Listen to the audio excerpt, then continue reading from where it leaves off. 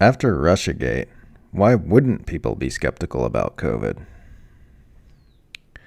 You hardly ever hear about Russiagate anymore.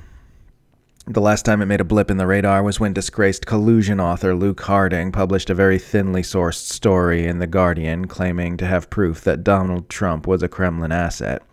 But other mass media outlets barely touched it and it vanished as quickly as it came.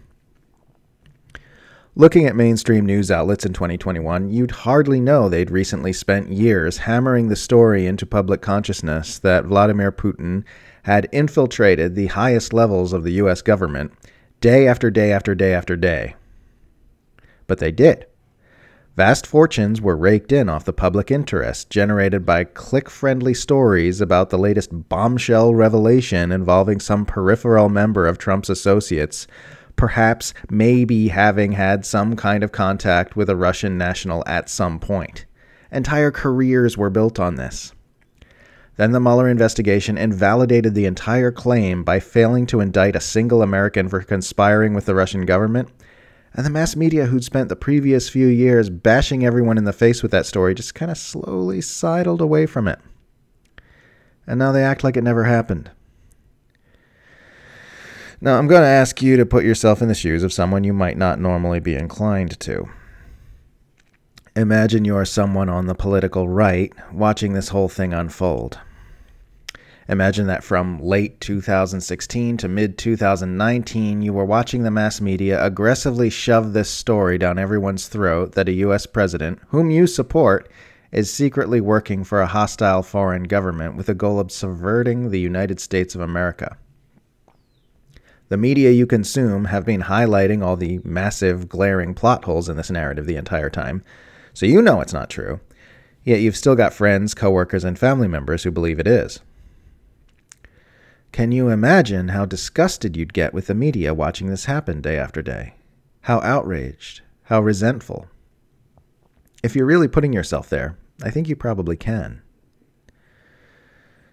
Now, imagine a year later, these exact same media institutions start telling you there's a novel coronavirus which we're all going to have to sacrifice some personal liberties in order to stop. We might have to stay in our homes, wear a mask, get injected with new drugs we're not sure about, possibly while watching our bank account drain and our business go under.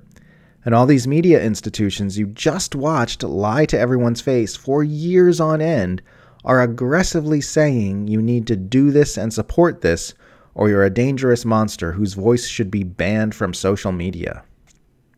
How well do you imagine that would go over with you?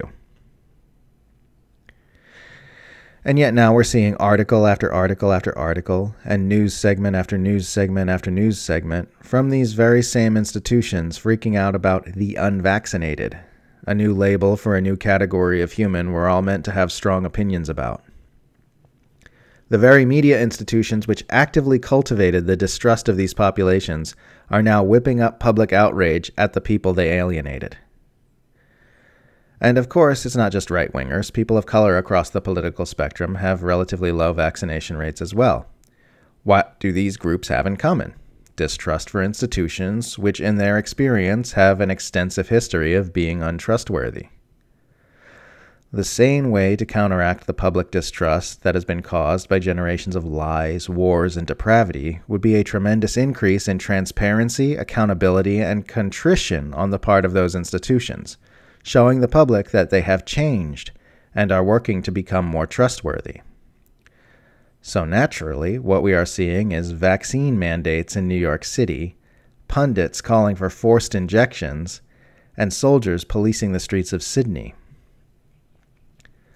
The way people are acting like trust in media sanctioned narratives should be a given after those institutions literally just discredited themselves in front of everyone is insane. You don't have to believe anything odd about the virus or the vaccine to understand the distrust. It was entirely predictable that this trust crisis would occur, and surely there were people in positions of influence who did predict it. And now this entirely predictable thing is being used to ban people from social media, justify vaccine passports, etc. I find that immoral. I don't know what's going on with this virus. My brain just doesn't work in a way that lends itself to science. One of the most annoying things about the indie media scene in the age of COVID has been gaining an audience because I'm good at logic and writing, and then being told by tons of people, Oh, you're good at writing? Cool. Now you have to be good at science or I hate you. People expect me to either understand things I don't understand or pretend that I do, and maybe that's good enough for them, but it isn't for me. What I do know is that things are getting increasingly ugly and authoritarian as global capitalism looks more and more like the end of a monopoly game. And that media institutions have no business complaining that people don't trust them after spending years actively alienating their trust. The sooner humanity wakes up from its unwholesome relationship with mental narrative, the better.